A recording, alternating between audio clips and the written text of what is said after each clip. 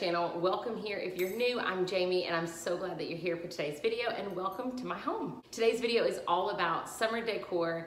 This year has been a little trickier than most, but I have gotten so so tired of my decor because we've been in the house so much with quarantine. So I was so excited to hit a couple of stores over the last couple of weeks and just pick up a few things here and there that really help to kind of spruce up some different areas in my house. I'm gonna show you all that. I know you saw some of it in the intro and um, I'm actually finishing up, but I have a couple of more things that I wanna do and I thought I would take you along with me. So if you're new to the channel, make sure you subscribe. Don't forget to hit the bell so you'll get all the notifications when I have a new video. I like to upload about once a week and it's usually some kind of mom content, home decor, organizing, fun with kids, stuff like that. So if you wanna stick around, be sure you do. And if you like this video, give it a thumbs up. So before we get into the decor that I've already done, I wanna go ahead and finish up a couple of things. So if you've been here a while, you know that I love fresh flowers. I like to have them in the house any time of the year, but spring and summer, definitely. So I just grabbed a couple of these these $5 bunches that I get at the grocery store every few weeks. I grabbed a few of those. We're gonna arrange some arrangements for the table and anywhere else I can fit one. I like to have them all over. Um, we're gonna do that in a few minutes and then I need to update my brown paper roll. I have a really big roll of brown paper that hangs on the wall here in the kitchen and I like to keep it updated for the for the season. So I've already started my idea there and I'm gonna bring you along to do the finishing touches on that. And then, oh, and then at the very end, I'm gonna make the super, super simple. Oh my gosh, I can't even really say it's a recipe. It's like a non-recipe recipe, if you follow me. It's just a couple of ingredients, but it's so, so good. I've had people say that it tastes like Starbucks pink drink, and I'm gonna put a little bit of a 4th of July flair on it, so make sure you stay tuned for that. And as always, if you have any questions, leave me a comment, and I will definitely take the time to respond to you. So I guess we'll get into it. I'll admit that I used to be a really big skeptic when it came to this plant food that they include with the grocery store bouquets when you buy them. And I guess about a year ago or so, I started using it. And I honestly, I think that it does make them last longer. Sometimes I can even get two weeks out of a bouquet, which is really, really good. 10 days is usually the norm, which for me, that is definitely getting my money's worth because I think these three, these three bunches cost me about $15 and you're gonna see I'm gonna be able to make three really, really full arrangements with it with some leftover. So for me, that is a win. Whenever I get started arranging, I definitely go through and look at each stem because they're always different. Even though obviously all these are hydrangeas, they are some are bigger and some are more full and some are smaller. So I wanna put a big full hydrangea with a smaller one in the same vase. And since I'm doing three for the same centerpiece, I can kind of separate them out that way. I also like to measure up my stems using the side of the counter. It kind of gives me an idea of how tall I want them. And it really makes a difference whenever you cut them the appropriate length because that kind of makes or breaks your arrangement.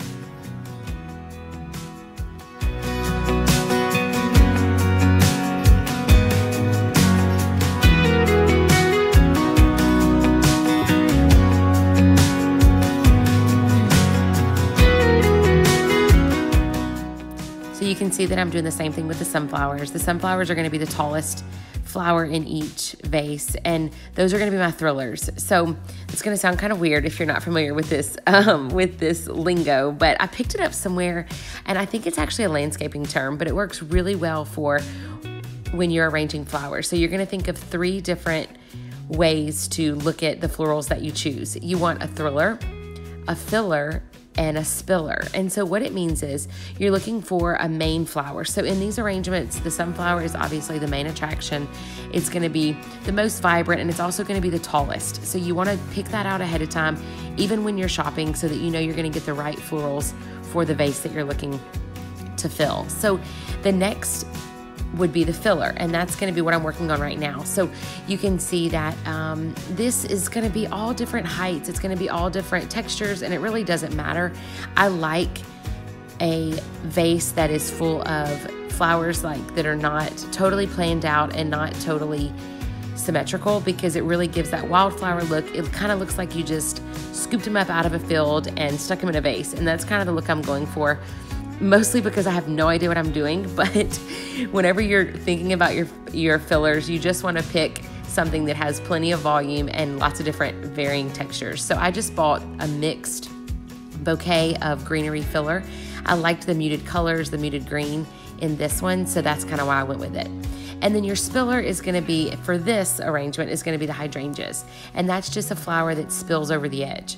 I honestly use hydrangeas most, most of the time for my spiller because it just has such a good shape to it and it really just gives that floppy look that I'm really going for around the base of the vase. So I'm just gonna put them in their home. This is a little toolbox we keep on the on the uh, center of the table and it's functional because it holds our salt and pepper and napkins and everything, but it's also beautiful. I really, really like the way it turned out. And as I'm finishing up, I realized that I definitely have some extra and I'm not gonna make let anything go to waste. So I take that extra filler and I have this beautiful basket that I got from Target recently and I hadn't really done anything with it yet, but I'm thinking I have a place for it. So stay tuned for that. But I um I could tell right right away that I was not gonna have enough filler to really achieve the look that I was going for. So I decide to go and get some artificial stems that I have just kind of set aside and really try to get the look that I'm going for. Using artificial stems mixed with real ones is kind of a trick that I do, I really use all the time, all over the house. And as long as your wire is totally wrapped in plastic, you should have really good luck with it. You don't want to have any exposed wire because it will rust in the vase. But other than that, I was super happy with the way it turned out.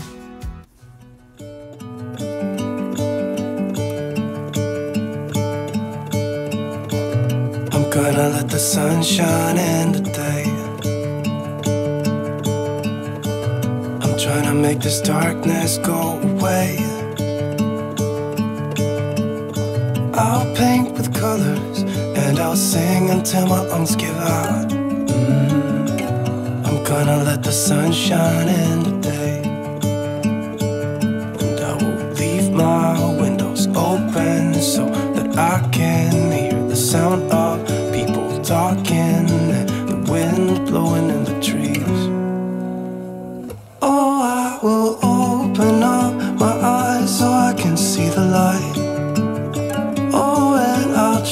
to spread my wings so I can fly. Oh, and the darkness starts to fade. Feels like things are gonna go my way. I'm gonna let the sun shine in the day.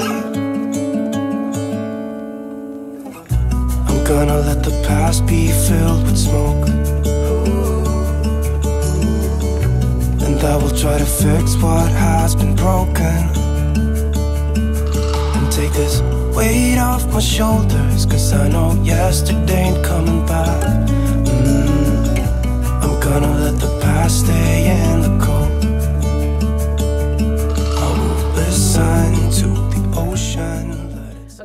brown paper took longer than I thought it was, but it's done now and I'm happy with the way it came out.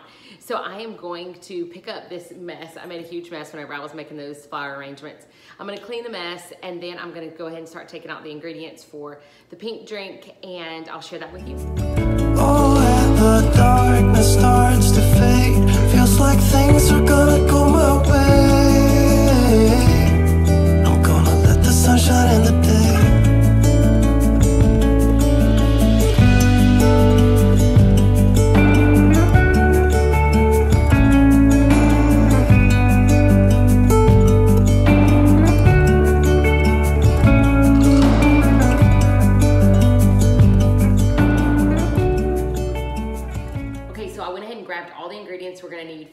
Pink drink. These um, cups just have a little bit of ice in them. We have our white cranberry strawberry juice cocktail, some unsweetened uh, coconut milk, and freeze-dried strawberries. I think this is why people sometimes think it's kind of like the, the pink drink at Starbucks because they also use freeze-dried strawberries in that. So maybe that's kind of why it gives it that little bit of a, of a flair. And then I'm gonna add some fresh blueberries on top just to make it patriotic. Okay, so keeping it really, really simple, we're going to put the juice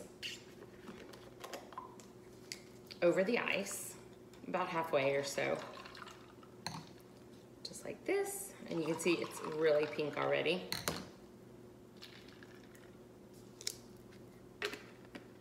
And then I'm gonna go ahead and add the freeze-dried strawberries. I like to add them in the middle if you put them on top, they don't they don't mix in well. And just a few. You don't have to put a whole whole ton.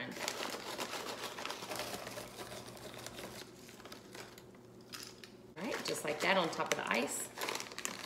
And then you're gonna go over top with the coconut milk. Fill it up, and it's really pretty whenever you do it.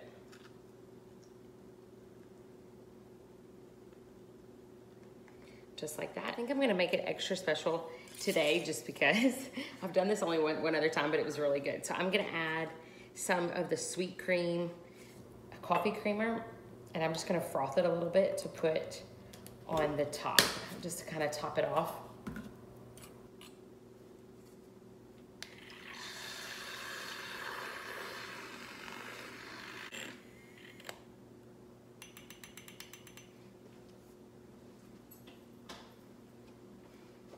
All right, I'm just gonna top it off with this frothed creamer and then stick my fresh blueberries on top of that.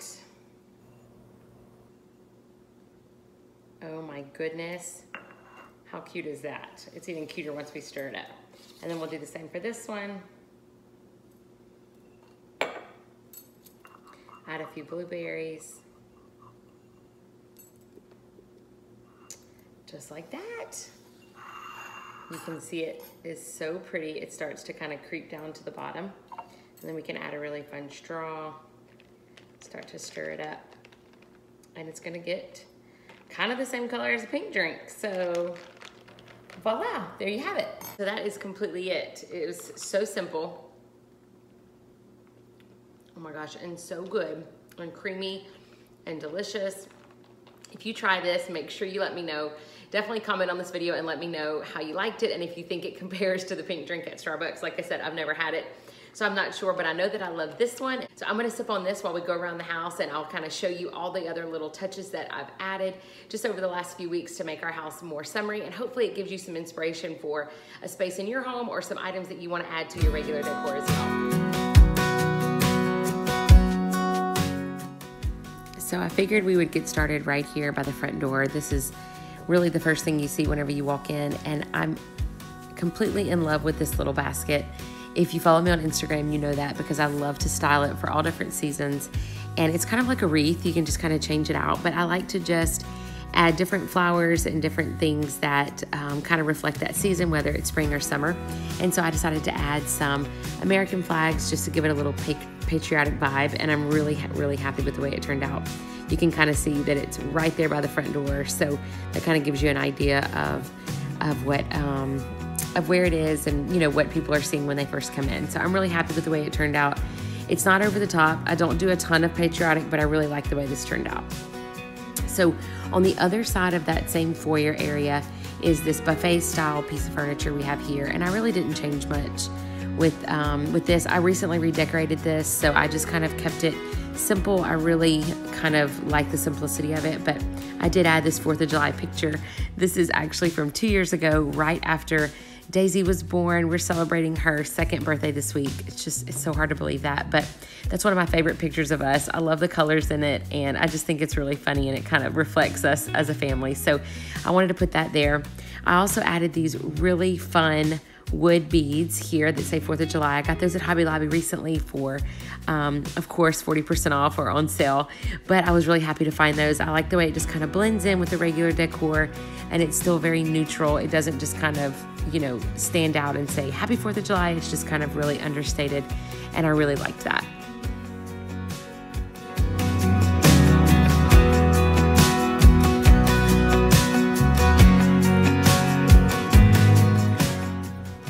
On the opposite wall, we have this little corner table right here by the stairs, and it's just, it screams summer to me. I know that mostly because I'm using a lot of yellow and then also this beautiful pineapple cutout. This wall is just one of those places that I can never decide on what artwork I want to keep here. I change it out all the time, and so this, uh, I found this little wood cutout Hobby Lobby. I think I got it for like $8 or something like that. So I was really lucky to find it. I love the way it ties in with the same texture of the candle holder right here in the tray. And then I've added those yellow tulips they're so pretty, and they also just kind of coordinate with this picture and Daisy's cute little linen blanket that she has. It just all feels so summery to me, and I'm just really, really happy with the way it came out. It's really simple, but it's still really very summery.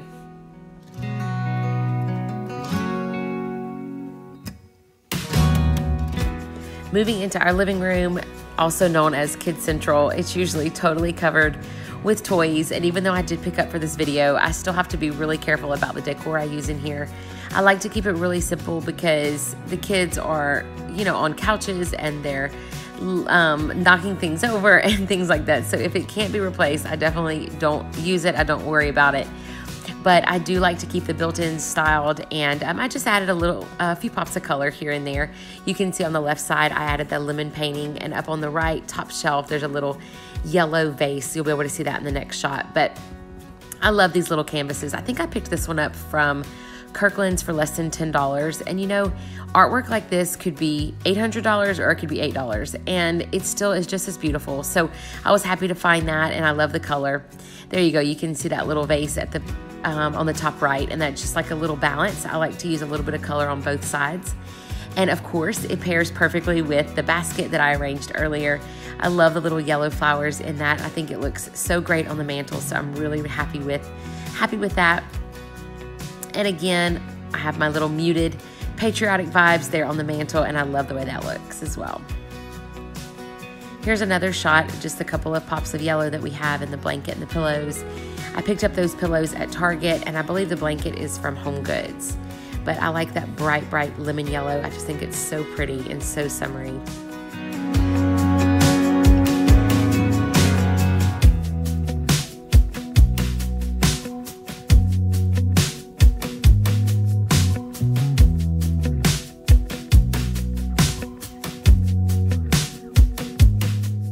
headed into the sitting area. We have this beautiful little antique table by the back door, and I just kept it really simple here. It's not very sturdy, so I always keep it simple, but I just added this vintage box that we have. Um, I love decor like this that you can use for all different seasons. This time I just had these pears and apples that are kind of yellow stained I added and then of course we have our little terrarium there with our air plants and our succulents but I really like the way that yellow pops. It's just, um, it was decor that I already had. I've used it for years in different areas, but anytime you can get your hands on a vintage box like this, there's so many possibilities. I just love it. Here's a shot of the sitting, um, the sitting room.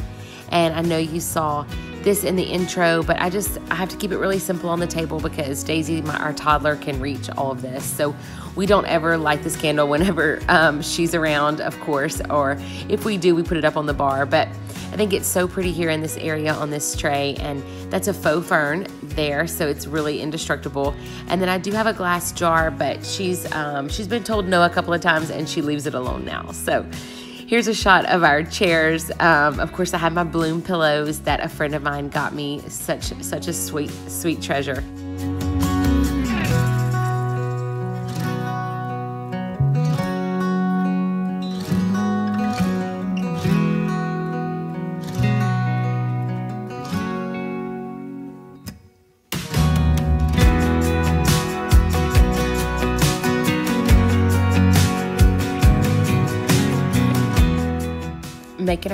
Kitchen, I have to mention this little kid table.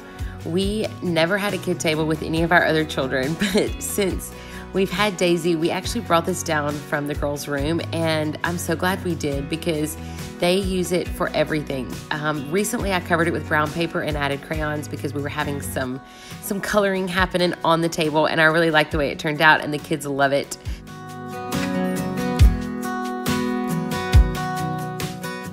Heading over to the um, the main part of the kitchen, I added this really pretty farmhouse um, little arrangement in the window. All of that is faux. It just kind of adds a pop of color. Of course, we have our basil and our green onion. My basil was not happy outside, so I added it uh, right here by the sink, and it's just done really, really well. So here's a shot so you can kind of see. I try not to decorate the counters too much because I really like to have my counter space available but if I'm gonna use it and it's functional, I don't mind leaving it out. So our cutting boards are out because they're pretty and our knives. Um, this is actually a an old Cajun cookbook that I have just recently used two of the recipes out of it. It's really, really good. I have no idea if you can still buy it or not. I think it's from the late 70s, but I really love it.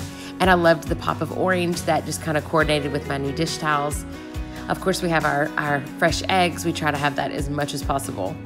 But moving over into the dining room area, this is the brown paper that I did earlier. Of course, um, you were there for that, so I know you got to see that. I had already kind of penciled in what I wanted it to say, so I just kind of was able to go over it with marker while while I was filming. But I'm happy with the way it turned out. It's never perfect, but it's definitely perfect enough for us. So this um, this little setup is always so pretty and seasonal because this is where we keep our fruits and vegetables. Um, anything that's not refrigerated goes right here. And I just absolutely love the way it looks. I have a really, really cool um, story about my fruit basket that I'll have to just wait for another video. But anytime I see our fruit basket overflowing like this, it just really reminds me about God's blessings and just how blessed we are um, with everything that we have in our life. But Anyway, I'm gonna start wrapping this video up. I am so glad that you were here. This is another shot at our beautiful arrangement that um, that you were able to see me create, and you can kind of see how it's just really messy and um, very you know, disheveled looking, which I'm really happy with. I never am too particular about arranging flowers. I'm just so grateful to have them fresh and be able to to enjoy them every day. It really doesn't matter to me if they're perfect or not. And honestly, you're the one that defines uh, perfection in your own home, so you can make it look however you want it to look. And if you love it, you just go with it, girl. That's what I always I always tell myself and I always tell others whenever they're looking for inspiration. So I hope you love this video. I hope it gave you some ideas to spruce up your home for summer. And if you have any questions, definitely reach out to me. Make sure you're following me on Instagram for other inspiration during the week. And I will see y'all right back here next week with a brand new video.